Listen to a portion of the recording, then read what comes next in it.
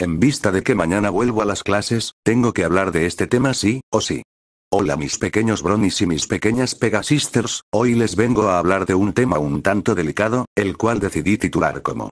La experiencia de Leticia Amezcua con Itzy Mumbau y el fandom brony.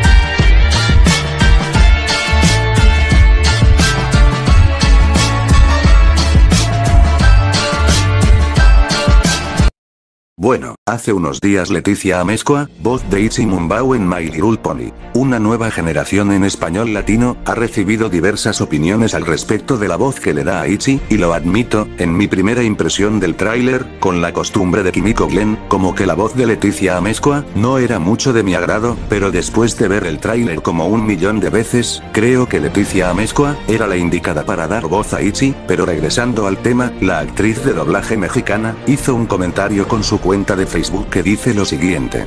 Queridos Bronies, Pegasisters y seguidores de My Little Pony, denle una oportunidad a Itzy en español latino, les juro que se van a divertir. No intente copiar la voz de Kimiko. Que es maravillosa. Como actriz de doblaje buscas acercarte más a la personalidad y al carácter de la caricatura y creo que mi directora Maggie Vera hizo un trabajo extraordinario guiándome a la esencia de lo que es My Little Pony. Les mando un abrazo enorme y ya estamos casi listos corazón morado corazón azul.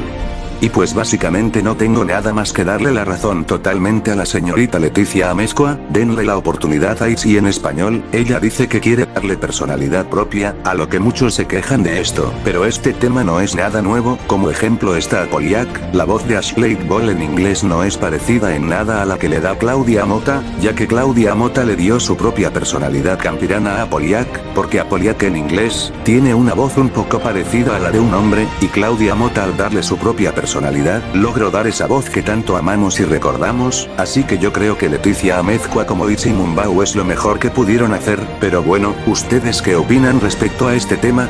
Quiero saber su opinión en la caja de comentarios, no me queda nada más que decirles, excepto que recuerden, que la princesa Luna está en sus sueños, cuídense mucho, nos vemos pronto, bye.